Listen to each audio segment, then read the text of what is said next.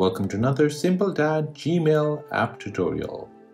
In this video, I'll show you how to enable Chat tab on your Gmail app. Before moving on to the video, I would appreciate if you can support me by liking this video so YouTube can push it out to others who need this tutorial.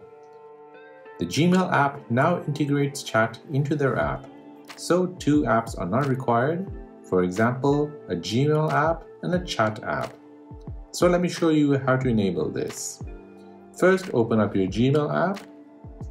As you can see, this is the front page of your Gmail app and it just looks like a normal mail app.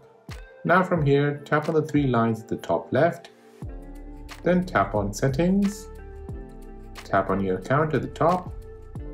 Here in the general section, find chat and enable this option. Then confirm it one more time and tap on turn on. Now this will take you back to the Gmail home screen. At the bottom you'll notice three tabs. The first one is your mail, second one is your chat, and the third one is space which is similar to room. And that is how to enable chat tab on your Gmail app. If this helped you out then please consider subscribing to the channel for more videos like this. If you have any other questions, then please do let me know in the comment section down below. Thanks for watching and see you in the next one.